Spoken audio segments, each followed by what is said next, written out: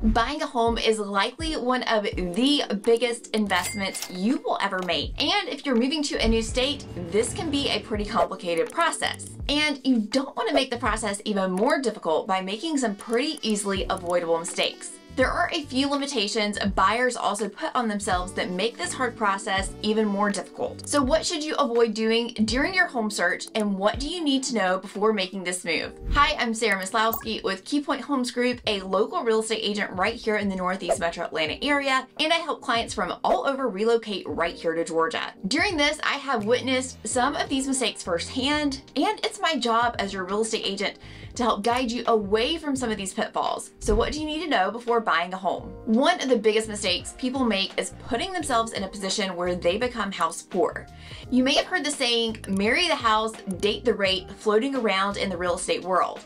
While that sentiment works for some home buyers, it's not always the best advice if you are working with a very tight budget. The meaning behind that saying is that you should buy the house that you love and the one that best fits your needs, and not put too much worry on the interest rate you are paying in order to buy the home, with the goal of refinancing to a lower interest rate at a later time. Now, this makes sense if the monthly payment, while still at the higher interest rate, is still well within your budget and doesn't stretch you thin financially, because there is no guarantee that interest rates will go down or on a timeline of when you can expect to be able to refinance. One thing I would suggest is to avoid buying a house that is at the top end of your budget unless you have already made adjustments to your price point you are looking at to account for the higher interest rate. You do not want to put yourself in a position where your mortgage payment is bleeding you dry and leaving you with nothing left over to spend for the rest of the month. You need to take a hard look at your spending habits and make sure that a mortgage payment at this level will still allow you to live the lifestyle you have been living or decide if you're willing to scale back your spending in other areas to accommodate this. Oftentimes people will stretch themselves thin just to be in a certain town or school district or within a certain distance from a family member or job when they could live 5 or 10 minutes away farther in a different town where they wouldn't have to pay so much for a home.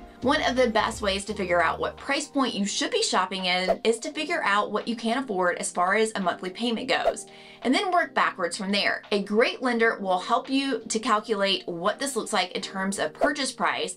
That way we know to make sure that we are at or below the number to make sure you are comfortable with your monthly payment. If you have always been a renter and you have never bought before, you also need to take into consideration that you will need emergency funds for if and when something goes wrong in the house. You can't just call your landlord when the AC goes out, now it's your problem. So you don't want to drain all of your savings so you can be prepared for these unexpected expenses that come up whenever you are owning a house. That's the joy of home ownership. Another big mistake I see people make, especially those who are relocating here, is limiting themselves to one specific town or area. Like I just mentioned, people will create these very strict parameters of where they want to be when just a short drive into the next town over could save them significant amounts of money while still being close enough to access all of the amenities that were drawing them to that other area to begin with. Or I will get people who are open to a 40 to 45 minute commute to work and I know that making this drive twice a day, Monday through Friday is going to get old very quickly. Now, on the flip side of that, people will want to move to the area to be close to family members and set a certain time commute that they are willing to be from their family member. They'll say, My sister lives in the area and I don't want to be more than 20 minutes away from her. Now, trust me, I love my sister just as much as you love yours, but sometimes you can find a whole world of other options if you're willing to drive an extra 10 or so minutes when you go and visit her a couple times a month or even every week and pay a significantly lower amount of money for your home. You can buy a nicer, more affordable home 30 minutes away from her as opposed to a less desirable house that costs more money but is 10 minutes closer for your occasional visit. Now, it's okay to be picky. I know that buying a house is a huge investment and you want to buy what you want, but if you have a very specific criteria that you don't have any flexibility on, this can make your home search very difficult and often eliminates a ton of really amazing properties from your search that could have been a really great fit if you could give up that one piece of criteria. Something that I have actually had several clients have as a non-negotiable on their wish list is a gas stove. Now, there are some things that I understand are absolute must-haves, like a master bedroom on the main level to avoid falling on stairs, no steep driveways because you drive small cars, a minimum bedroom count to make sure there's enough space for everyone, enough yard space for the dogs to run around, all of these things make sense and can't really be changed in a home, so they need to be there right from the start. Now, something like whether you are cooking on gas or electric, to me, seems like something that should not entirely rule out a house that meets all of your criteria. But we all view things differently and different things are priorities to different people. Another criteria people get hung up on that I personally think we have bigger battles to fight is whether a home is on a septic or public sewer. I've talked extensively about septic tanks and how about 50% of homes here in Georgia have them. A lot of people think they are a big, expensive thing or there's a lot of upkeep, but that's really not the case. If you are pumping your tank every three to five years like recommended, which will cost you around $300 to $500, you can keep your system in great working order and avoid any major costly repairs. If you're living in a house with sewer, you will obviously have to pay a monthly sewer bill, so either scenario is going to cost you money.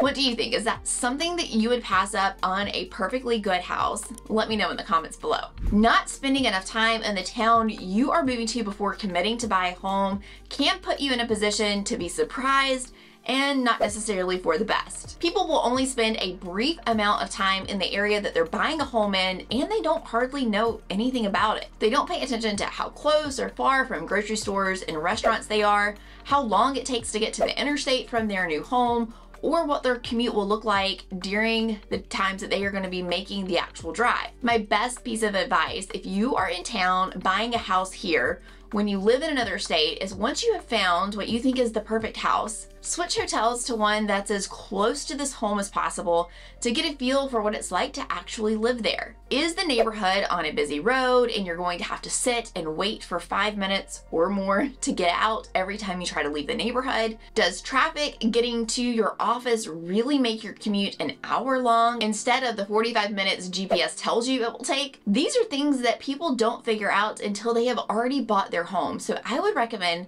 trying to acclimate to the area before buying a house. Okay, the next mistake can be one of the biggest headaches when trying to purchase a home, and that is working with people who aren't very well versed in the area or matter that you are asking them for help. For example, I had a buyer once whose brother was a mortgage lender, but he lived in California and primarily only dealt with loans for California based clients. Of course, my clients trusted his brother and wanted him to do the loan as opposed to someone here locally, even though they know the process here better. Now, a lender can be licensed to work in several states, but every state does things a little bit differently.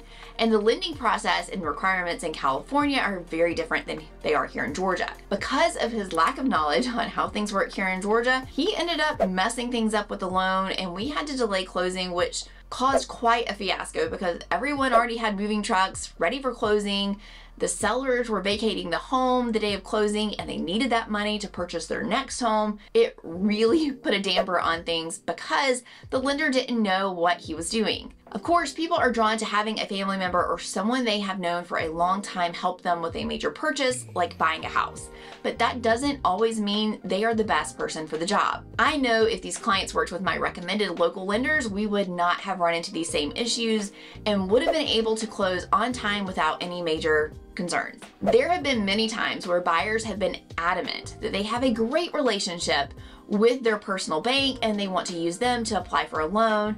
And then after several weeks of unanswered phone calls and poor communication, they take me up on my offer for a local highly recommended lender who is going to make their purchase a top priority. I got an email from a dear client the other day who went through this whole scenario and said, I can now see firsthand how I have experienced all of the bad things you mentioned about big national banks. I don't say this to say, I told you so, but after working in this field and going through as many different transactions as I have, hundreds. I have many firsthand experiences from the good, the bad, and the ugly. So I want to share these experiences with you and help you avoid them from the start. It is very important to work with people who are highly knowledgeable about the area, the process, and how to best serve you. You need someone working to help you that knows the ins and outs of the entire process in order to serve you best. Looking to relocate to Georgia from another state, that is what I specialize in. Just last year, I helped over 60 families do exactly that. I know exactly how to work with people who are new to the state whether they are coming here for jobs or lifestyle or to be closer to family. Whether you have a home to sell in your current state and need to coordinate the sale of your home in order to purchase here, or if you've already closed and are ready to buy with cash, or you are currently renting and this will be your first purchase, I know how to help you make this process as smooth and easy as possible. Relocating to a new state is a huge process and it can be very stressful. And there is a lot more involved than just buying a home. So your agent needs to know know how to best guide you. If North Georgia is the place that you have settled on, I want to be your real estate agent. If it's somewhere else in the country, I still want you to be in the very best hands. So feel free to reach out to me for a great recommendation for an agent in another area. I know all the right questions and background information to figure out if someone is going to be able to get the job done for you. So I'm more than happy to get you connected to a great agent. This doesn't just apply to agents and lenders. It holds true with things like roofers,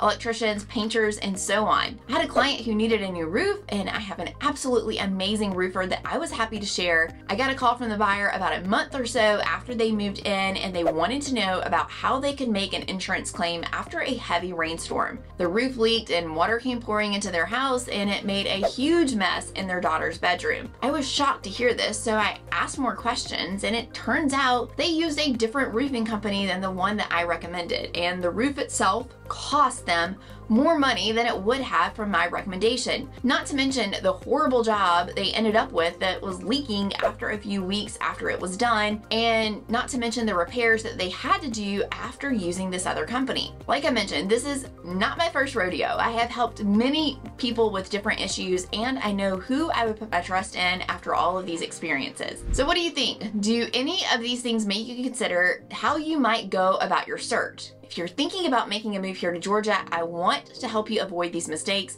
and make this as easy of a process as possible and represent you when you purchase your home. You can book a call with me below. There is a link in the pinned comments. And if you need a great recommendation for an agent in another state, a mortgage lender, or anything like that, let me know. I'm happy to help. If you're thinking about making a move to Georgia, make sure you check out this video next.